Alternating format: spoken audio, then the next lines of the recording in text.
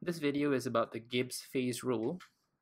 And the Gibbs phase rule is a useful tool to determine the degree of freedom of a system of multiple components or substances at different phases. The equation is simple where it can be written as C minus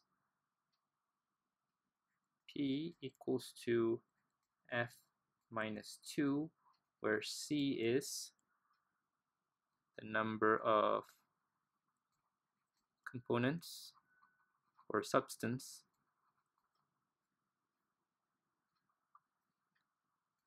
P is the number of phases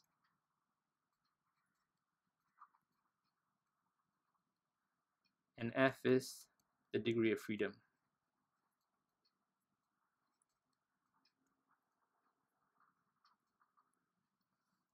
Let's go through a few examples. What if a system contains one component at one phase?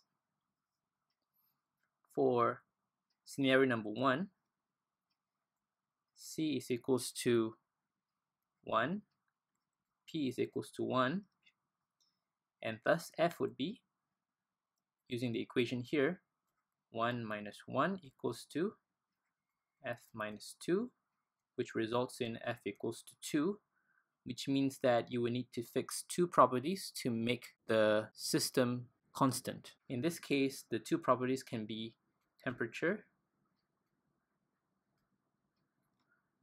and pressure.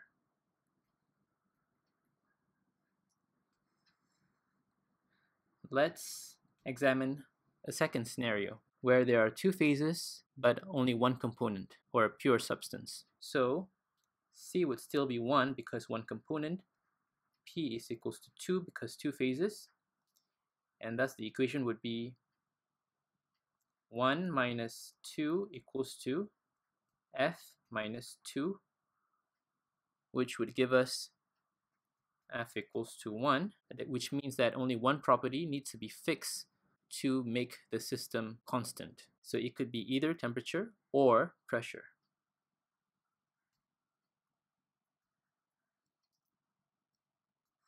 Now the third scenario is, what if the system has two components at two phases? Then C would be 2, P would also be 2, and that would give us 2 minus 2 equals to F minus 2, which means that F equals to 2.